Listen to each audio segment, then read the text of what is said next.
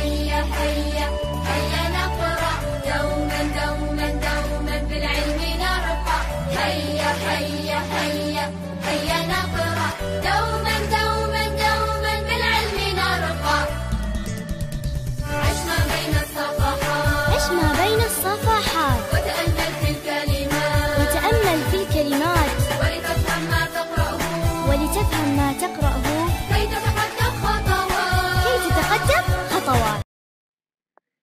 السلام عليكم ورحمة الله وبركاته. مرحبا أعزائي الطلاب. أهلا بكم في حصة جديدة من حصص اللغة العربية.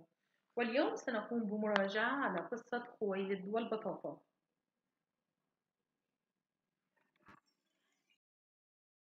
خطوات الدرس. أولا مناقشة التهيئة. اثنان عرض الأهداف.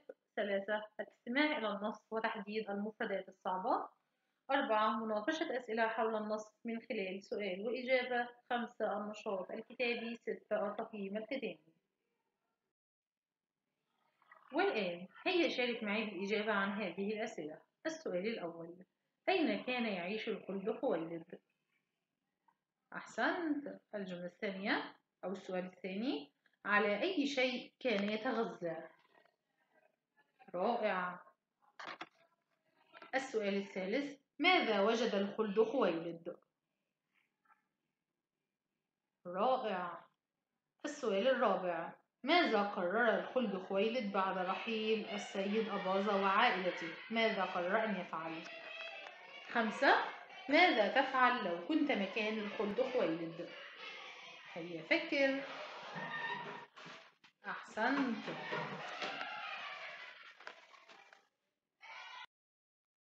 هيا بنا نتعرف على أهداف درسنا اليوم. الهدف الأول أن يجيب المتعلم عن أسئلة تظهر فهمه للنص الهدف الثاني أن يتتبع المتعلم تطور الشخصية من بداية القصة إلى نهايتها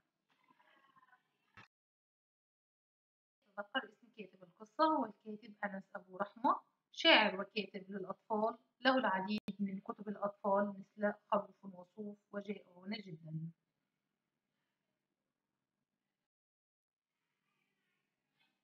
والآن هيا بنا نستمع إلى أحداث القصة.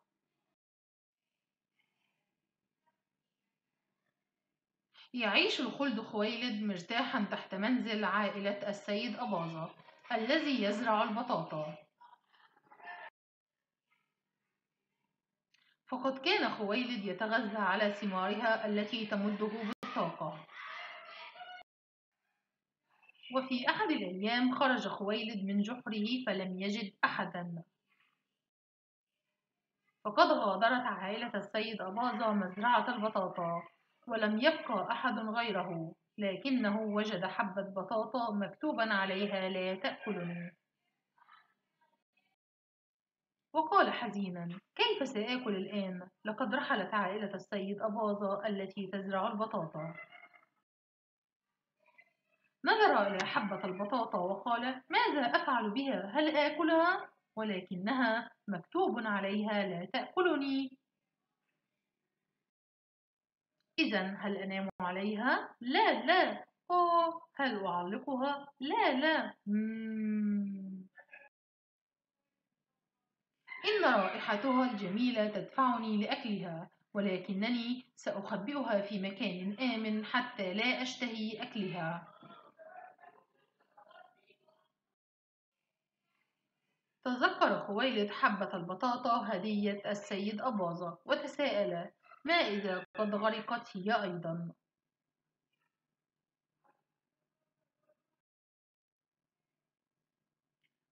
بعد أن يئس من المحاولة اشتاق إلى بيته القديم.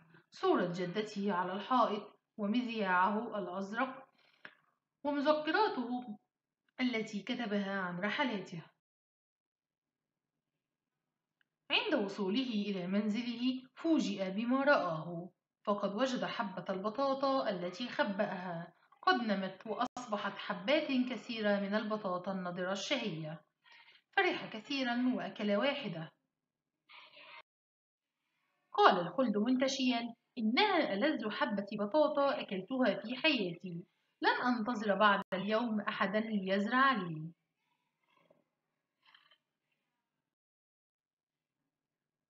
والآن عزيزي الطالب حان وقت قراءتك لهذه الفقرة. هيا توقف هنا قليلا واقرأ الفقرة. ثم أجب معي عن هذه الأسئلة. أحسنتم على القراءة. هيا بنا نجيب معا. ما مشكلة الخلد خويلد هيا فكر. استنتج صفات الخلد. ما صفات الخلد؟ جملة فعلية. اسم موصول. هيا اقترح نهاية أخرى للقصة. كلمة بمعنى سعيدا. استخرج من الفقرة كلمة بمعنى سعيدا. أسلوب إنشائي يحدد نوعه. أحسنتم على المشاركة. كيف تطورت شخصية الخلد من بداية القصة إلى نهايتها؟ هيا وضح ذلك. أحسنت. كان الخلد في بداية القصة كسول يعتمد على غيره ولكنه تغير في النهاية وأصبح مزارعا نشيطا. يعتمد على نفسه ولا ينتظر أحدا ليزرع له. ماذا يحدث إذا لم تغادر عائلة السيد أباظة المزرعة؟ هيا فكر والآن هيا قم باختيار أحد هذه الأنشطة وأجب عليها بالدفتر ثم أرسل إجابة النشاط إلى معلمتك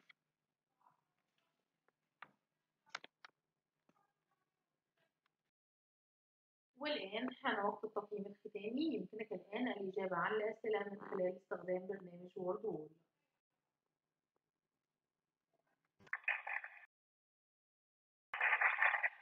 والآن بعد الانتهاء من الإجابة الأنشطة السابقة يمكنك الآن فتح برنامج عصافير وقراءة القصة التي أرسلتها إليك معلمتك مع تمنيات الجميع الطلاب بدوام التوفيق والنجاح شكرا لكم على حسن استماعكم.